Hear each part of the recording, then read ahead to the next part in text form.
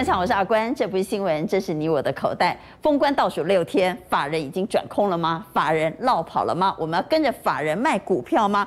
我们看到，在今天比较值得关注的是，在今天法人买了什么呢？买了画面上你所看到的台湾五十反一，这是看空的讯号吗？买了什么呢？买了台湾加权反一。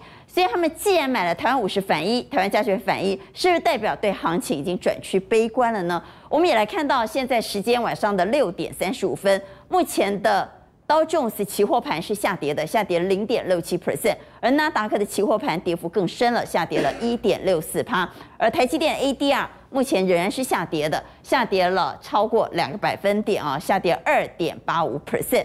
而现在正在进行交易的欧洲股市，画面上可看到的是德国股市下跌了一百六十四点，下跌一点零三 percent，而英国也是下跌的，下跌了零点七三趴。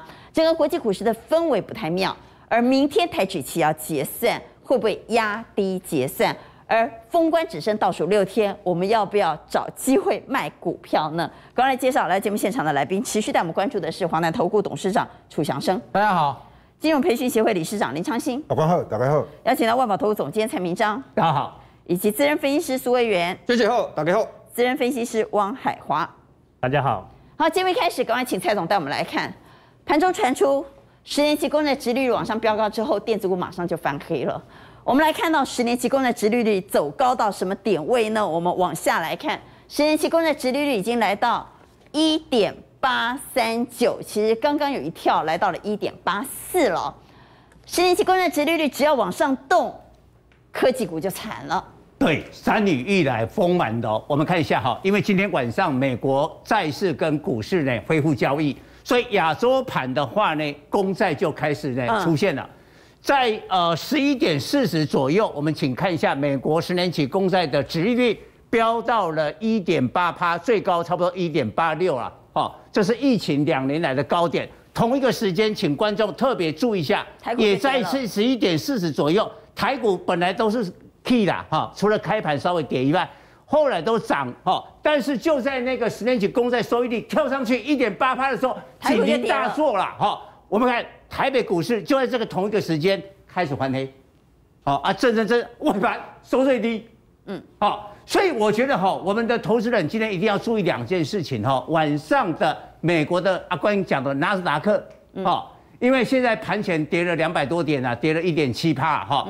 纳斯达克，好，我们上一下纳斯达克的线型，让观众啊深切的了解到。现在是跌了两百六十点。对，我们看一下哈，纳斯达克的话，在去年的十一月一二六一六二一二，这是历史的最高。嗯。那美国是这样，升息的前四个月，科技股就会做头。那假如今年三月升息的话，四个月前就十一月嘛。这个就头，然后盘盘盘盘盘盘的时候，你可以看它撑在这个什么年线哦。今天假如真的跌两百点的话，会贯破正式的贯破年线，哇，那这个对台股的尤其电子股，压力就很大了。对啊，我们都跟着这个好，回来我们再看一下为什么，请观众一定要注意到美国联总会升息的风险。我们看一下哈，这我们知道美国 GDP 七成是内需消费。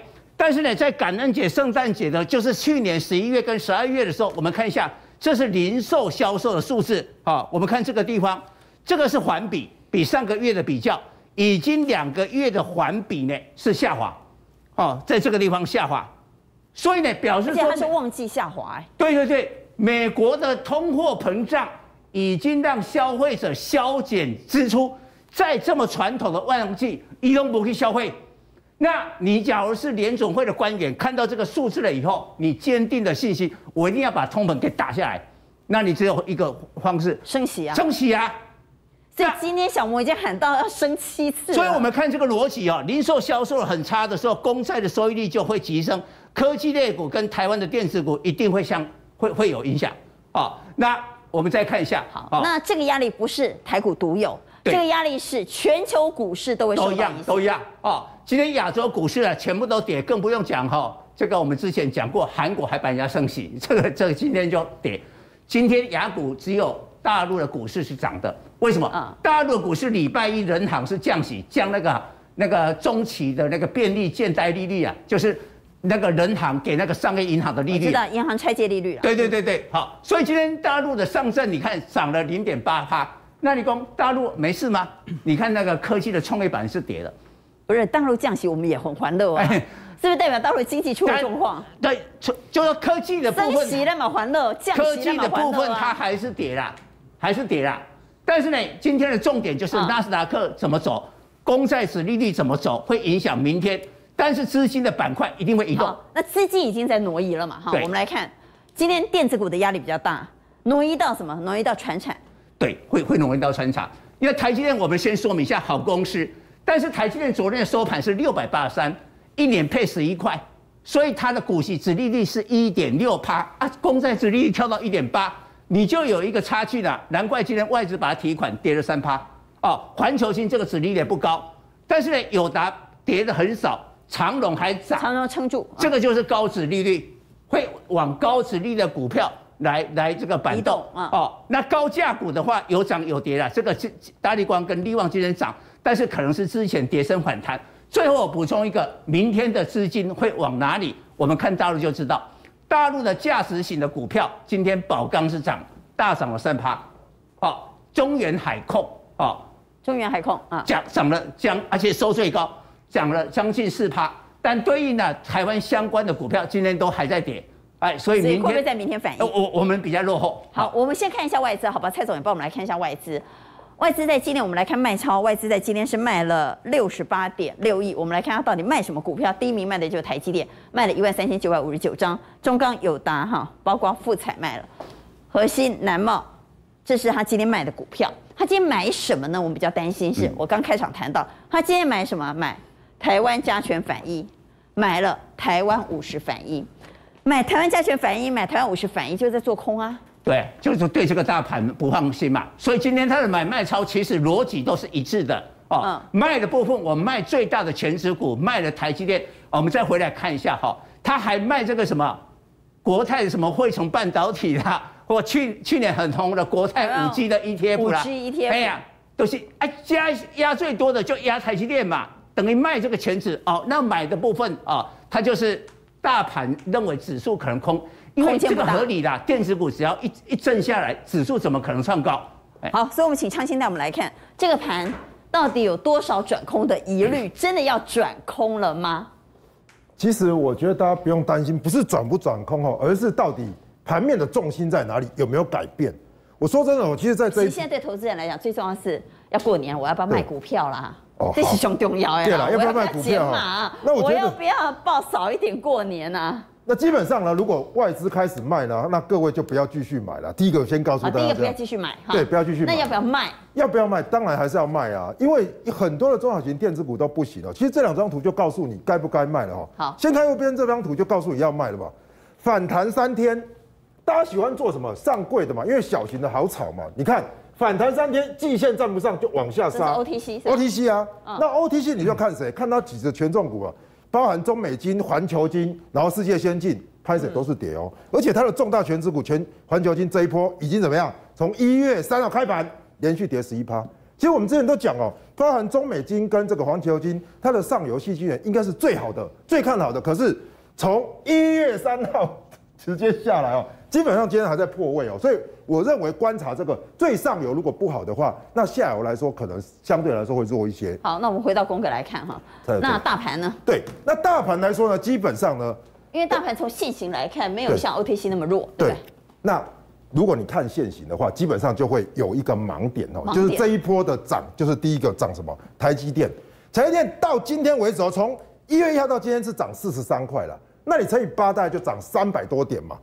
大盘从一月三号才涨一百一十八点，所以扣完基本上哈是 minus 的，就是负的。所以如果我把台积电拿掉，对，K 线不可能是长这样，对，K 线就往下。是，而且如果再把国泰金、富邦金这些金融再拿掉，再往下，所以为什么 OTC 这么弱？因为 OTC 基本上金融股都是小型的，所以我建议大家哦，如果你看加权指数的话。你会被骗，所以加权指数我觉得还要扣掉台阶的部分才会比较不失真，这是第一个警讯。所以第一个警讯是我们看到现行确实有转弱的疑虑。第二个警讯是明天台指期要结算。对，所以说其实哦，这一次的这个所谓的封关过年之前呢，其实是到下个礼拜三，但是明天就先结算了。所以明天结算后，大家会发觉有几个重点哦。第一个，上面这个是外资的这个买卖超，那外资呢这边是连续买，连续买。对不起，我这边都买什么？都买台积电比较多。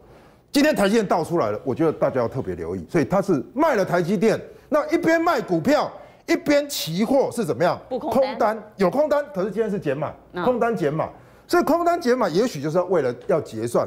所以明天的收盘之后最重要。如果明天收盘之后空单又加回来，那这个时候就是第二个重要。明天压低结算的可能性高吗？我觉得震荡结算的机会比较高，因为如果说压低结算，对后续就有利。为什么？压低结算，它对下个月它布的，它基本上它就不会再空在底了吧？所以明天反而拉小高要特别小心，因为转仓是我要把近月的平掉，去空二月份的。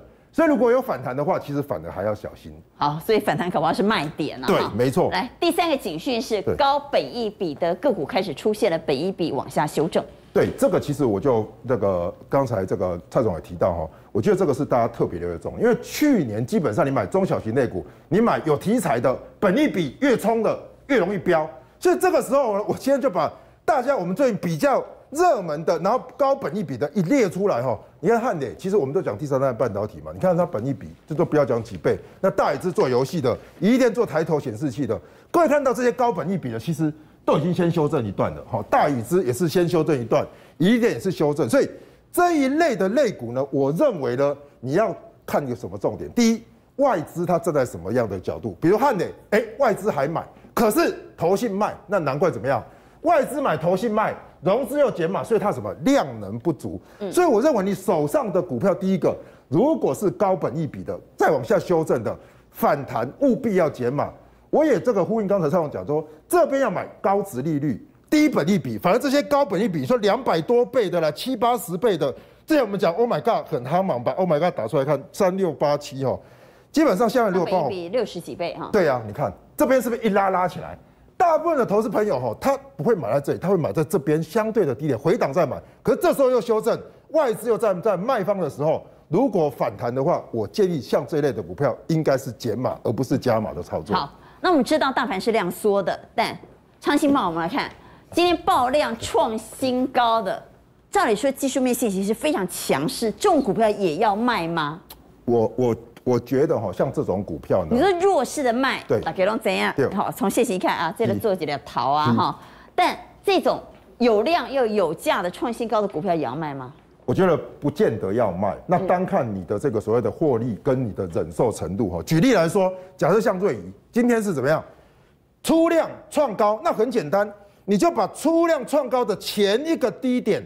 当做一个什么？当做一个所谓的防守点，你不一定要马上卖，因为你一马上卖，你可能搞不好没有获利，搞不好这一次修正的是修正别的股票，像它都没有涨，开始涨它，所以包含你看合作也是都没有量的，那一根上来，我觉得这种带量的低点绝对不能跌破，所以我觉得这边是要用移动停利的方式，而不是说一拉就出。你像博士，它本一比也很低啊，那它的获利也很好啊，这种往上拉的你都不用出，但是呢？今天的低点不能跌破，如果未来的五天到七天，嗯，如果这个低点被跌破的话，毫不犹豫出场；如果没有跌破，继续垫高的话，我认为继续持有。好，所以还要看股价过去这段时间它的表现如何，以及它的基本面。我们要问，在封关前是不是应该真的要找高点调节减码手上的持股呢？认为还是应该要站在卖方的，请给券。封关前剩下倒数六天，是不是要早点卖股票呢？好，我们来看到有。一票圈、两票圈、三票圈，有三票认为要卖，哈，一票在中间，楚董给差啊，对，不要卖吗？没有，我觉得还好啦，因为个人的持有的股票不同，你知道，而且事实上很多股票从高档修正的幅度非常的大，嗯，你知道那些股票，我觉得你再去追杀它没有必要了，因为所以如果已经修正过的，不要对对，我觉得已经跌了二三十趴，你干嘛要卖？等一下嘛。事实上那些题材股票不能等啊，接着过年那怎么办呢？呃，我我觉得应该还好哎，你知道，我觉得。呃，股票先修正，只要它有题材方向对，最后还是有机会做反弹的部分。那电子股也不用卖吗？我觉得电子，我个人觉得像有些 IC 设计啊，有一些比如说电动车的，它还是长期的主流啊。今年要要走，一定走这些股票嘛。只是说你的你的价位，你如果说买的非常的高，你这个价位已经赔那么多，干嘛要再做做赔本杀出一个动作？只是说你整体的持股一定要考量整体的。对对，你如果持你持股非常高，你没有选择，一定要去卖一些。如果整体持股没有太高，这些股票当然可以等一下那什么。样的持股是安全水位呢？我觉得如果你在五成之下，应该都基本上 OK。好，那既然你谈到 IC 设计，我们等会要来问 IC 设计，因为 IC 设计都是本益比很高的对。但是也被修正了，好，对对它就矛盾了嘛。对因为所有的分析师都跟我们说，本益比高的小心小心小心，好，要修正了对。但是你说它有没有修正过？它有修正过，虽然它修正过，但本益比仍然高的 IC 设计怎么办？既然刚刚你谈到了 IC 设计，不过我们在谈 IC 设计之前，先来谈美国股市。好。美国股市有没有危机啊？以前我们讲美股叫它叫不死鸟，对。啊，因为它以前有一个叫很大的阻力叫做联准会，你知道，但是这个联准会的主力的观念有点改变了，嗯。嗯，改变之后，你知道市场主力跑了之后，你可能要小心一点了，本来联准会是做多，对，做多的，头 对。嗯。重点在于这三年，你看连续三年股票涨幅真的非常大。你看美股的费城半导体，你知道指数哦，涨六十趴、五十一趴、四十一趴，实在太可怕。靠什么？钱堆积出来的。那我稍微稍微提一下印钞票出来，印钞票出来，我们先提一下，今年缴的成绩单全部都不好，唯一涨幅比较大，你看这今年的涨幅啊，唯一比较好的是台股哎、哎，对对，你看还有这个香港股市啊，香港股市也不错，对，过去的例子就是跌升的股票，通常啊，这个会领先反弹了啊。台股这个集中交易市场事实上还不错，两个两个 percent，就台积电嘛 OTC 跌了六个 percent。另外美股特别要注意一下，你知道这是距离波段的高点，你可以看到 NASDAQ 已经距离八个 percent 了哦，还有罗素两千已经跌了十二个 percent，几乎快破底了。中小要特别注意一下啊。我特别提一下啊，我刚刚特别讲说 FED 很重要，嗯，你知道这几年它是多头主力，这几年的主要银行一年印两兆美元的钞票哦，两兆美元是非常可观的数字哦。现在慢慢慢开始要退场，不管是美国或者是欧洲央行都要准备退场。大家知道，股票连续三年在高点，你的钱又供给不上的情况之下，你一定要很多好的利多。现在有没有什么好利多？产业上也看不出来。那 FED 要加速什么鹰派的这个动作，所以我觉得股票市场真的要小心。但是股票不会死，因为它太重要了，决定了很多人的财富。这个财富又决定你会不会去消费。所以我觉得在做任何动作，一定会观察金融市场的变化，不会一意孤行。即使通膨再高，动作可能也会和缓。但我特别提一下，还是一个 Nasdaq 的 pattern 很重要。第一个，过去的价位通常大概两到三个月一定破新高。刚刚特别提到 Nasdaq 高点在十一月，现在已经过两个月了。如果接下来二月、三月没有办法破新高做头，回档修正的幅度就，它的惯性是对，两到三个月一定会破新高，创新高，对，创新高，对对对。那如果这一次违背了过去的惯性，就要注意了。时间拉了很长，没有破新高，又开始回档修正。刚刚特别提到，已经到了八个 percent 了。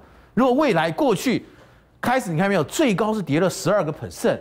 如果接下来修正又破了十二个 percent，代表整个趋势已经改变了啊，可能要特别特别注意一下。现在有人提到三月份可能一次升息两码，这样的动作之下，股票市场会修正，会修正要小心哦。我个人觉得还是要小心，因为接下来你看没有，大家全部在探讨 FED 的动作啊，一下你讲说两码，一下说要升息，要缩表，消息一堆，股票市场一定会受到一些影响啊。但是有一点我注意到。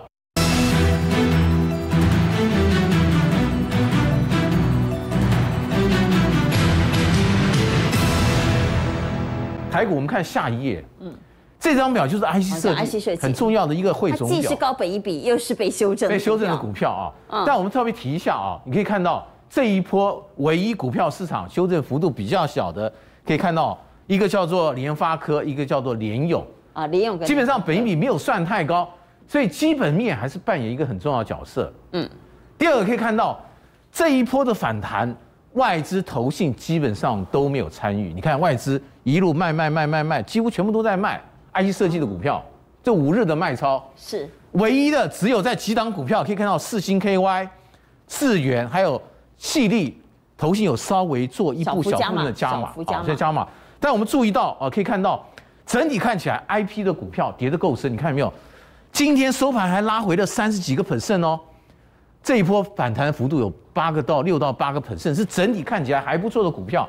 我们看一档智源，好，我们来看智源我，觉得它是非常可惜。你看它的 K 线图，啊，看一下 K 线图，这张股票在上礼拜五啊，嗯大盘在整理的过程当中，它从平盘底下拉到平盘之上，尾盘几乎快拉涨停板，收个长上影线。当大盘在开始要突破，要开始整理一段时间往上涨的时候，什么股票先出头，扮演一个很重要的角色。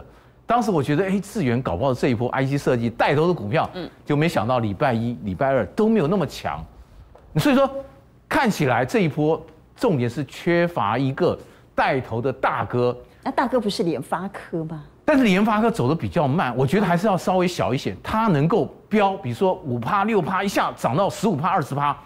所有的 IC 设计看到，哎，有人谈到十五趴、二十趴，马上就会跟，你知道？嗯，现在是缺乏这样子的一个指标出来，很重要。我们再回到那一页，好，我们再回到前页，嗯，刚才很重要在于呢，资源哦，投信在买，问题是外资在卖，哦，所以我想说，然后外资的卖压又大过投信，对，又大过投信，所以当时，呃，投信觉得应该可以买了，发觉哎，外资在卖，马上就收起来了，收手情况下，大盘弹不起来。另外，我们注意到，你可以看到哦，PM 呃。P M P M C P M C 的部分，你可以看到茂达已经谈了十三个 percent 了，哦，M C U 的部分新塘，新塘对对对，所以代表还是有很多股票开始慢慢往上弹，这些股票只要往上拉的时候，一定会拉动相关的股票，进而拉动整个 I C 设计。啊。另外我们可以看到，比如说窄板的南电、景硕，今天已经表现的还不错了，是。可以看它谈了大概八到九个 percent，电动车的康普。汉磊强茂。开始点火，对，低轨道贵星啊，低轨道卫星的森达科，所以现在是点慢慢变成线，慢慢越来越多的股票，现在还在点，对，还在点啊，我觉得气势还不够。我刚刚讲缺乏指标股，一旦看到有指标股出来，谈到十五二十八的时候，我觉得 IC 设计股票应该有机会谈一下。好，所以手上 IC 设计的观众朋友，到底我该不该把我 IC 设计股卖掉呢？认为可以抱着续报的给圈，认为该卖的给差，请举牌。当然个股。或然有点不同了哈，但我们先整体来看的话，到底我要不要卖呢？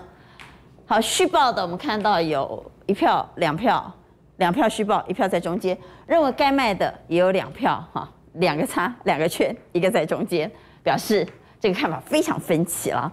既然谈到了 IC 设计，也请汪老师带我们来看 IC 设计。刚刚看的是比较大的哈，那比较小的 IC 设计呢？好，今天 IC 设计现在要看三个部分哦，一个是本一比，然后一个是前一波的跌幅，还有一个是出现 W 形态。我看到你刚刚是放在中间嘛，哈。是。好，为什么放在？所以说有些股票可以买，有些股票不能买。所以因为 IC 设计蛮多的，所以说其实有些是可以买，有些地方有些不能买。我来解释一下好了。嗯。例如创维，其实它的本一比只有十倍，好，二二十倍，修正一下。然后呢，它这一波跌幅，我们先看一下，它跌幅差不多是二十个百分点左右。当时是跌下，当然要观望一下。然后呢，在一月十号出现了一个红 K，好，这边你当它出现第一根红 K 的时候，你要先观察一下。然后呢，它压回到一月十号又再出现另一个红 K，这个时候就是一个 W 形态。好，W 形态出现的时候，它就比较容易上涨，它连续上涨三天。当然现在也是不能追，有可能会回来。所以我们再看一下联发科，联发科它的本益比是十五倍，所以也不算高。联发联发科在一月十四号它还是破底。所以说前天算是第一根红 K，第一根红 K 不能追，所以昨今天出现一个压力，好反压下来。所以如果你比较积极一点，可以在红 K 的下缘，好接近红 K 下缘这里去买进，就是买在一个相对的低点。如果你要保守，就再回档一下，然后呢再出现另一个红 K，就是 W 形态的时候，你这个时候买会比较安全，好，所以有两种买法。那瑞鼎的话，瑞鼎我就直接跟细粒来做一个比较就好了。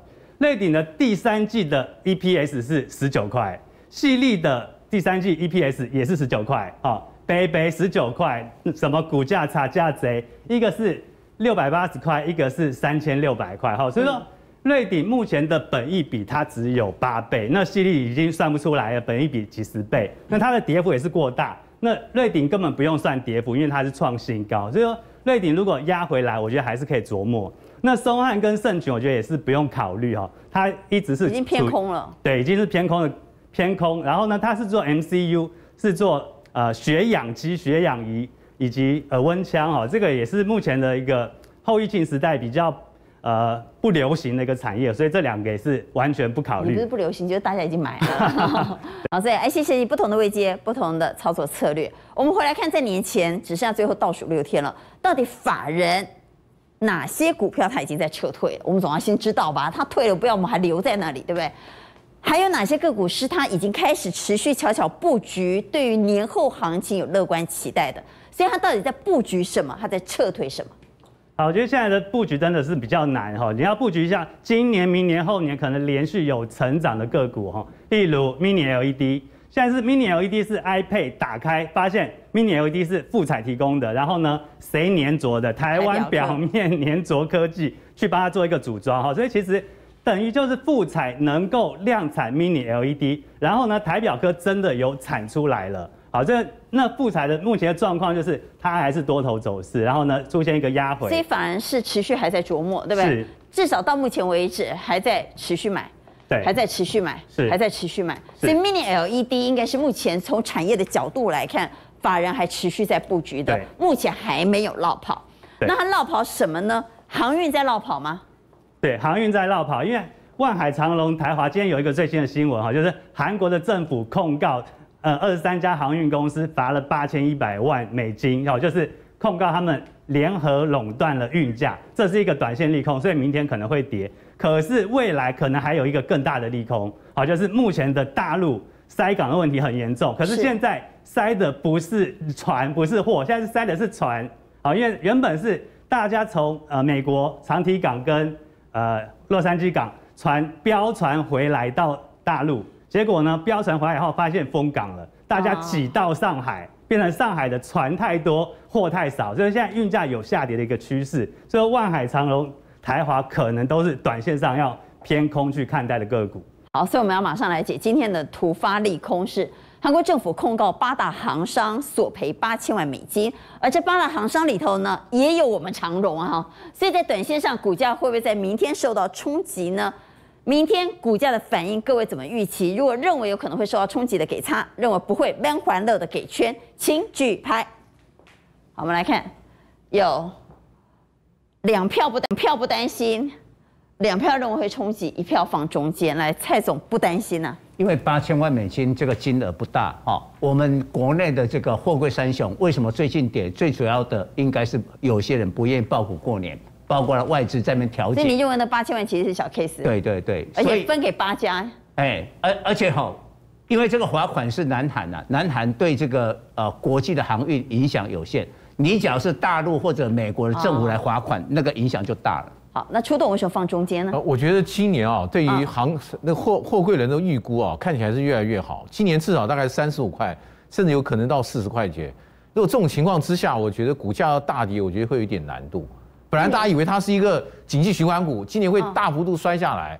目前看起来，中间的意思是这个新闻，你认为是？我觉得会会稍微修正一下，但是我觉得中长线它应该还会再涨。本来我们对于，比如说像货柜人的预估，今年预估本来是打对折，但最近慢慢开始从五折、六折、七折，甚至到八折了，代表它今年的景气看起来是越来比当初预估越来越好。如果这种情况之下，股票在大跌空间应该有限。好，短线纵然受到冲击，也只是短线的震荡啊！哈，好，我们来谈，如果卖板卡卖到这个份额上，哎呀。那真是有够强势啊！什么份额呢？AMD 说我的晶片要涨价了啊，而且我一涨涨三成，那客户就说：“哎呀，你涨太多了吧？”他说：“不买拉倒，没关系，你不要买，好，我涨价你也可以不接受，不买拉倒，卖。”晶片卖板卡卖到这个份额，你看 A M D 多强势啊，委员。对，我想现在现阶段呢，因为 A M D 跟这个台积电合作之后啊，哎，别别干别干那熊小白对啊，几乎可以说黄袍加身，话术也跟当。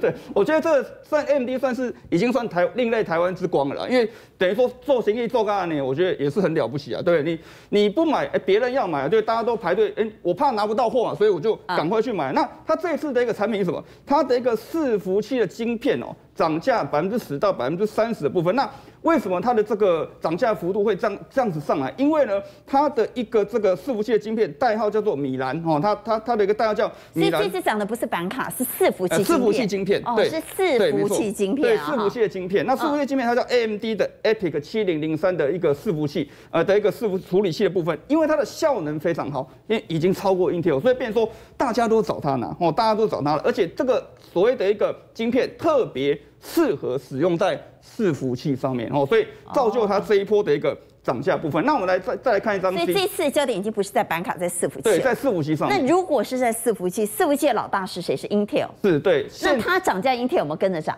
Intel 目前还在观察当中。为什么？好，为什么？我们来看一下这个数据的一个比较哈。我们从这个二零二一年的一个 Q2 的一个所谓的市占率来看哦，叉八六的一个 CPU 的一个晶片的部分哦，呃，AMD 的部分呢，市占率是百分之二十二点五，Intel 是百分之七十七点五。像娟姐讲，哎，现在 Intel 还是还是老大，对。可是大家注意看哦，AMD 已经创下十四年新高了，它的一个市占率创十四年新高，而且提升了百分之四点二。它拿到那个四点二，就是谁给它的？就是 In Intel 荡下来的一个部分，所以 AMD 已经吃掉它对四个百分点，对，已经吃掉它四个百分点的部分。那 Intel 不涨价，他接下来打算门什么？他要开发新的技术，开发什么新的技术呢？叫做所谓的易冷式的一个散热。好，易冷式的散热是什么？等于是说，因为以前的一个这个，我们像画面上面看到这个，把伺服器的一个这个把它浸浸泡在一个化学的一个冷却液当中，以前的一个伺服器散热啊。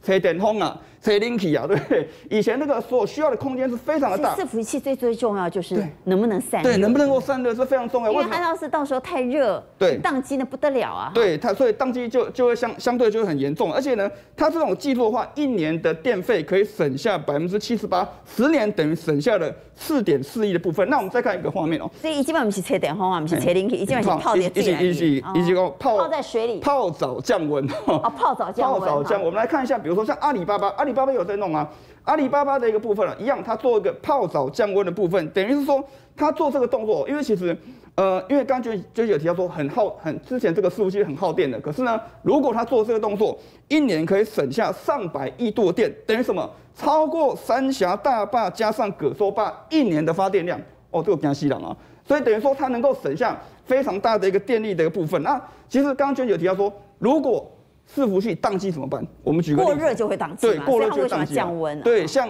去年的十这个十月四号，Facebook，然后呢这个 WhatsApp、IG 曾经啊宕机了七个小时哦，那个时候全球二十九亿的用户大崩溃，然后？哀嚎啊！对，哀嚎崩溃啊！那样呢就是。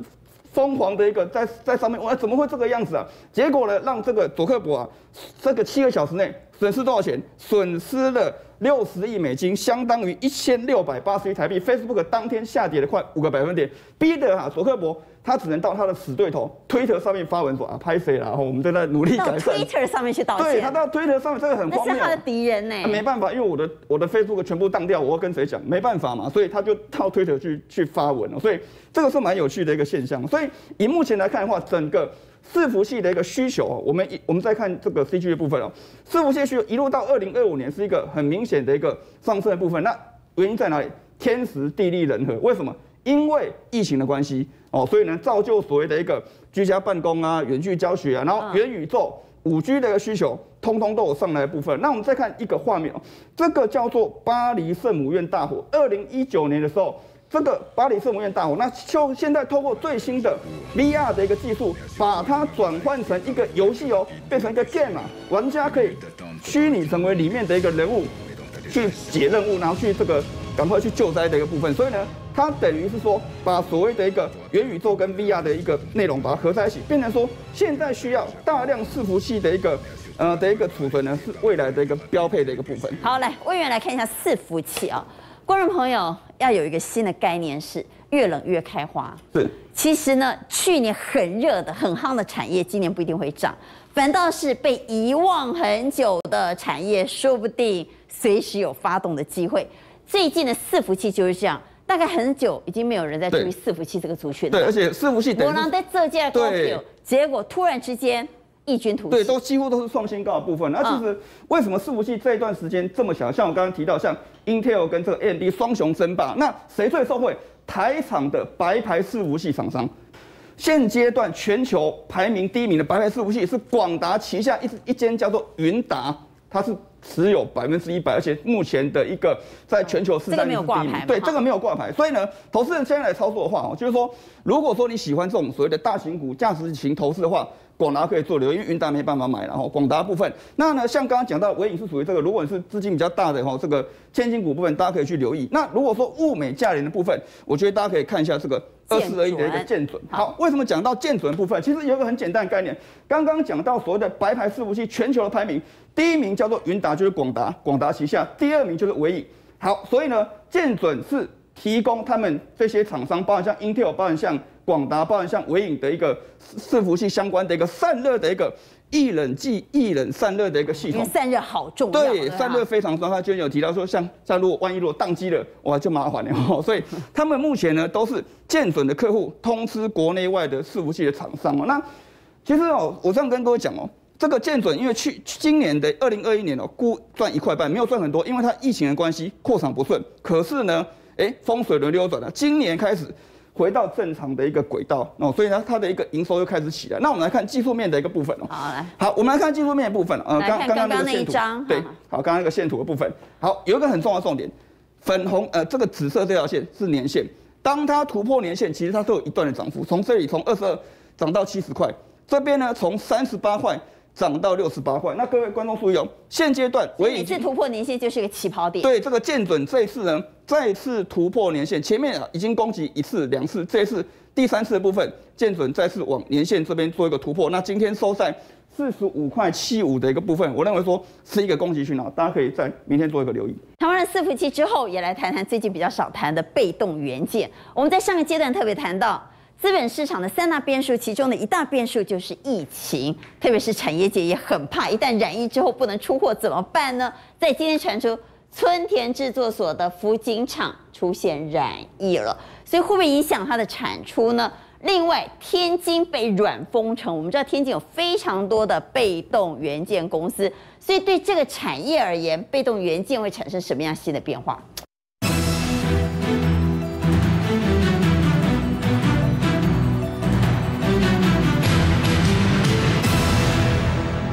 理应说不错哈，大家直接来看宫格哦。今天的新闻我查了一下哦，所有的新闻全部都在报这个。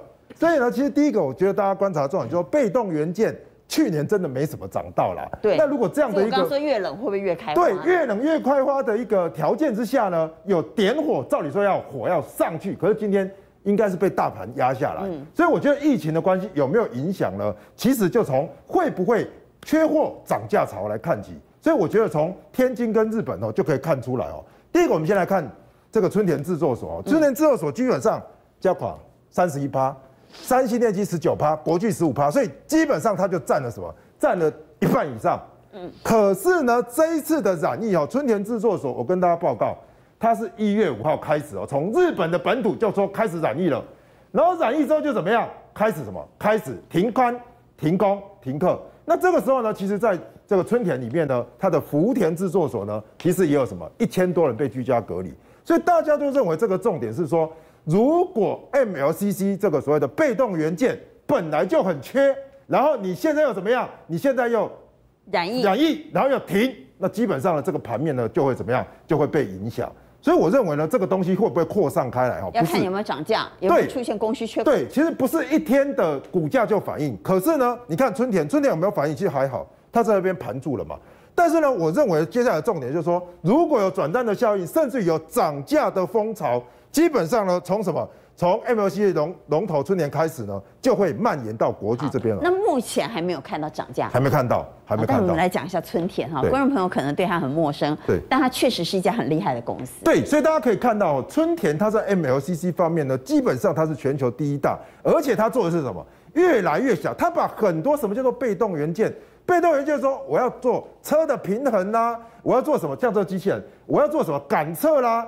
基本上呢，它不是主动元件，可是它是辅助性的元件。这这是从春田里面找到，就是说，基本上它现在把所有的元件都做到车里面了。那这样的话，它的元件的数量就会变得很多。所以基本上它是做什么？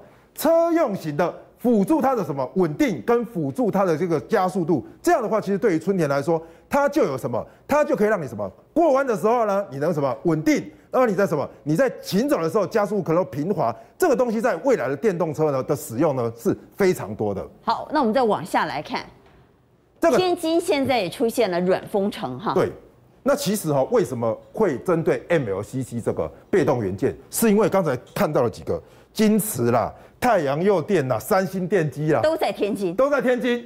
所以天津有非常多重量级的被动元元件公司。对，然后如果大家看到天津的新闻现在是怎么样？天津因为离北京比较近，那北京要办冬奥，在二十天就要冬奥，所以中国现在的政策是怎么样？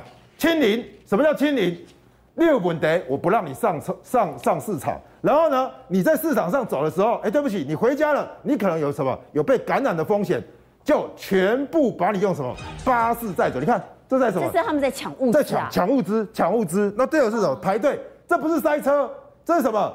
把人居家隔离，用什么？用巴士全部载走。这么多人要居家隔离啊，巴士还排成这样。对，所以五本台的载走，所以网友都在戏称呢。你这样干脆就居家隔离好了，你全部载走隔离，不是一样意思？但是我觉得这也是中国的决心啊，因为它离什么？离北京比较近，而且冬奥要开始，omicron 又这么严重的话，其实中国如果要清零的话，大家就想回到这里，会不会影响到？我再次强调哦。现在是什么？现在是在日本的福田的春田制作所停工，可是这些都没有停哦，这些都没有停工。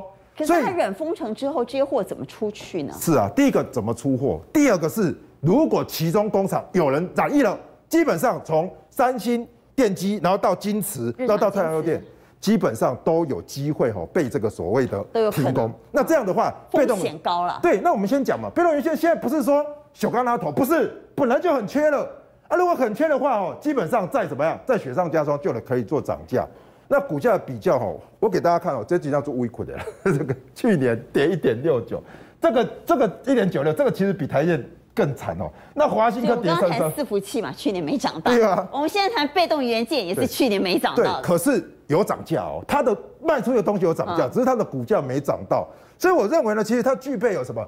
低本益比，科去年还跌三，对啊，跌三十三趴。所以说其实哦，是的哈，对，就这个所谓的摩根斯丹利的报告，他说，第一个你要买就买大的，为什么？因为如果国巨不涨哦，其他也涨不动。嗯。第二个，国巨在这边具有什么攻击性？因为什么？它的什么本益比相对的比较低，那它预估今年呢，哈，可能可以赚到五十块，所以五十块乘下去大概五百五到六百，它是这样来看。嗯。所以最后我们看一下这个国巨的这个现形哈，下面帮我放这个三二七啊。那下面帮我放外资哦，我去查了一下哈，这个摩根斯丹利的报告是一月三号出的，一月三号买最多就是它了，所以第一个 他有买，他也心口如他心口如一，然后大家去关注就是这个点，大概在五百，这个很好记，五百上下这个点就是防守点。今天虽然开高走低哦，这里要守住了，这里守住的话，我觉得这回你会买的比摩根斯丹利好，我觉得这个都是这样的一个道理。好，那我们也来整理哈，从技术面的角度来看。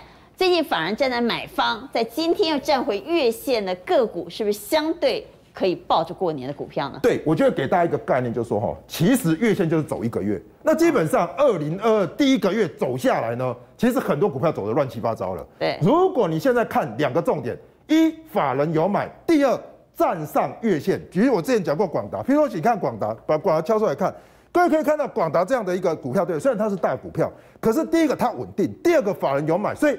你如果要报过年，我认为啦，比较大型的全资股，如果外资或是法人站在买方的，你持有会比中小型的来的相对安全。好，这是近期法人站在买方，而且股价又站上月线。说到越冷越开花，去年没涨到的，其实台积电严格来说，股年嘛无先 K 掉了哈。去年呢，台积电虽然有涨，但涨幅落后大盘，表现不如预期。今年反而在元月份就一马当先，而且突破六七九，创下天价。现在三星向我们呛瞎了，说什么呢？十年内要干掉台积电，干我科林。我们的总统蔡英文说，希望我们的半导体能够产业国产化。换句话也就是说，除了我们的晶圆代工之外，他希望整个供应链，包括设备商，都能够变成我们台湾最重要的国家队。当然，今天台积电股价表现不好，这个最主要是美国公债殖利率的影响。但是你看其他的设备厂，包括了世和、迅德、金鼎，都表现还不错。但是呢，三星说十年内要干掉我们的台积电的，他们自家的媒体跟专家都出来打脸啊。然后我们来看一下，对比一下今年的资本支出，台积电是一点二亿兆台币啊，比三星的一点零四兆来的多啊。再过来更重要，哎，来 B 技术嘛，人家台积电三纳米下半年量产，而且有 Intel 的大客户哦，没错啦，三星也说他在做三纳米啊，那个都是先试一啊，那个量产呐，这个很少，而且哈，这个我们说良率很低。再过来我们看一下，我们自己要回来看，我们要讲半导体的国产化，哎，取动公安目标够很大，你能做得到吗？哎，我们看了。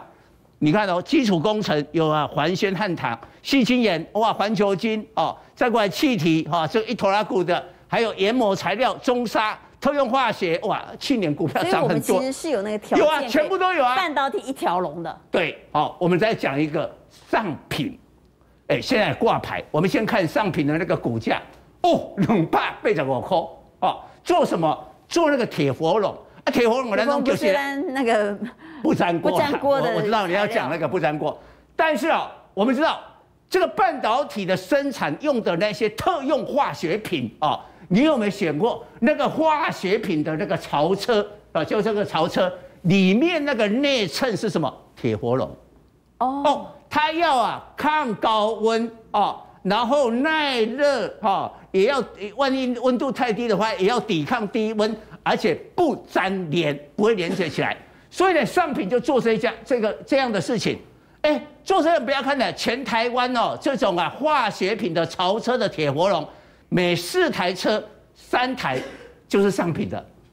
哦，但是未来有没有空间？有，因为现在哈、嗯半导体只占他们的整个铁活龙的营收五趴嘛。是哦，那未来发展的空间很大。哎，这家公司哦，我一查，去年 EPS 十几块，哦，啊，今年可能啊持续到十五块、十六块，哦，难怪这个股价，这一般认为说，哎，这个好像是传统产业，但是股价涨起来很可怕。所以台湾的半导体很厉害哈，不是只有晶圆代工，不是只有 IC 设计，我们的设备厂商也很有竞争力。如果我们可以上中下游整合做半导体一条龙，这是我们的目标。所以我们来看，在设备上的部分呢，包括像金鼎、星云哈，画面上可以看到股价其实很强势，都站在月线和季线之上。我们的台积电当然表现不错，那其他的半导体股怎么看呢？哎，这这边哈、就是去年标了这个快两倍的珊瑚化，呃，这个是现行特化哎，对对，这个这个哈、因为涨太多了，现行没有那么强，其他你看都还蛮强。最重要哈，比如说像适合的话，这个 EPS 大概有六块，所以现在的本益比也偏低啦，因为股价才七字头。信德也一样哦，这个本益比啊也是偏低。像这种本益比偏低的适合，这里面我觉得适合适合跟信德是比较低的哦，啊，比较没有涨那么凶的，比较有机会。再过来我们看一下哈，现在的半导体设备，因为已经经过一波的大涨，嗯，哎，开始哈，你要有一点啊这个区别，关键还是那个本益比哦，这里面啊。油田的话呢，你看股价非常强势，因为它 EPS 估计大概六块，所以本一比也一样，大概十六七倍啊。信德刚才讲过比较低，那哎，加登你会发现这个线型就没那么优啊，呃，月线破啦，季线也在这边挣扎，为什么？加登去年大概 EPS 只有三块，今年可能会好一点，但是重点股价是太高了啊，对啊，股价285块之前还三百块，像这一种的话，你就要观望哦。环轩也一样，已经涨过一波哦。环轩我觉得一百六十九块，其实环轩的那个 EPS 呢跟信德可能差不多，但是呢信德是一百二十四块，那环轩一百六十九块，像这样的话就比较要啊暂时保守。